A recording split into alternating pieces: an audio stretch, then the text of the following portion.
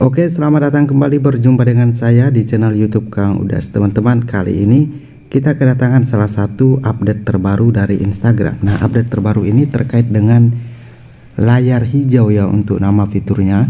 Pada intinya dengan fitur ini kita bisa mengganti background dari video ini. Contohnya itu seperti ini. Kalian tinggal pilih saja di situ layar hijau. Nah, ini adalah background yang secara bawaan itu udah ada di Instagram. Untuk mengganti backgroundnya, Kalian tinggal pilih di sini, ubah latar belakang. Dan di sini ada banyak sekali background yang bisa kalian tambahkan. Sebagai contoh saya akan pilih yang ini. Maka secara otomatis untuk latar belakang saya itu sudah berubah. Atau saya pengen ini. Nah, seperti itu.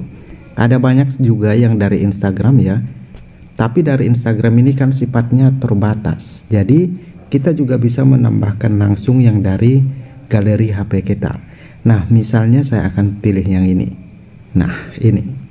Oke, seperti itu ya. Jadi dia langsung berubah untuk backgroundnya. Bukan hanya foto, tapi juga untuk video bisa kita juga rubah seperti ini. Po bocil-bocil sedang ngapain nih? Oh, mereka atraksi sepeda.